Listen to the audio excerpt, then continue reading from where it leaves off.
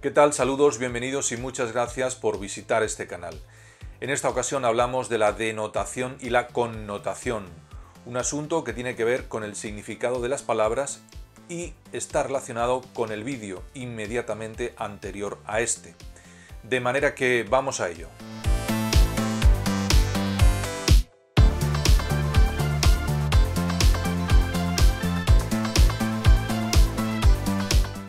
La denotación o lenguaje denotativo se refiere al significado real, objetivo o, si se quiere, científico que tiene cualquier palabra y que por lo tanto podemos encontrar en el diccionario.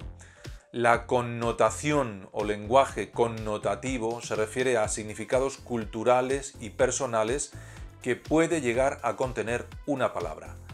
Lo normal es que cualquier diccionario contenga también significados connotativos al definir una palabra. Si pensamos, por ejemplo, en el sustantivo zorro, nos encontramos al menos con dos significados. Uno, referido al animal, es decir, mamífero cánido de menos de un metro de longitud, incluida la cola, de hocico alargado y orejas empinadas, etc. Y otro referido a aspectos morales o psicológicos, persona muy taimada, astuta y solapada. Este segundo significado es connotativo porque se trata de un significado cultural que parte de valoraciones o de actitudes que popularmente se atribuyen al zorro como animal y que si tenemos en cuenta la literatura, por ejemplo, encontramos en las fábulas de Esopo, repletas de animales que representan valores humanos, muchos de los cuales están relacionados con la fama que esos animales han adquirido desde el punto de vista del ser humano. Inteligencia, astucia, torpeza, etc. En las fábulas de Esopo abundan los zorros, los cuervos y los lobos y representan cualidades y actitudes humanas.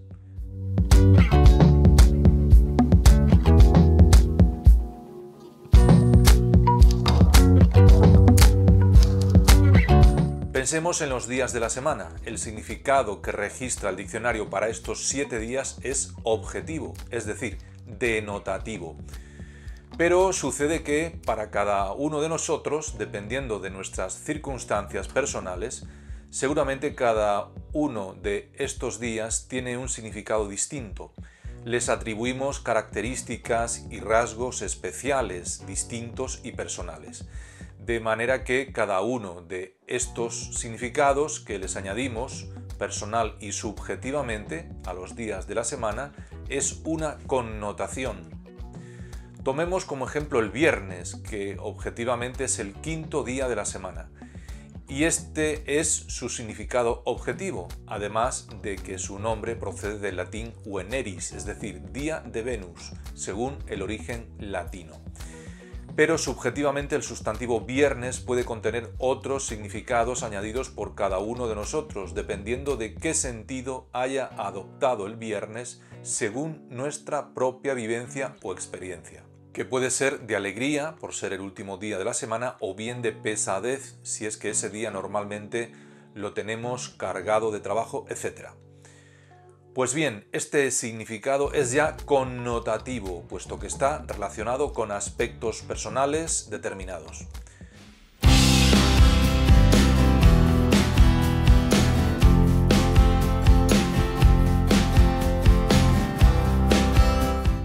Finalmente pensemos en el sustantivo droga y en todo lo que implica.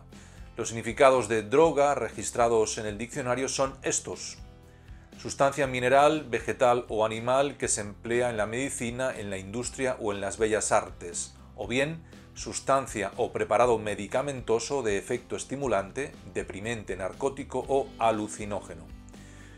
Los dos son, como se ve, significados muy técnicos, muy objetivos. Estos serían significados denotativos. Sin embargo, esta palabra encierra inmediatamente otros significados culturales, sociales, psicológicos, sanitarios y personales. Estos otros segundos significados son ya connotativos y hacen referencia ineludiblemente al fracaso personal, el sufrimiento, la muerte, la violencia, la delincuencia, el destrozo familiar, la enfermedad, etcétera, etcétera.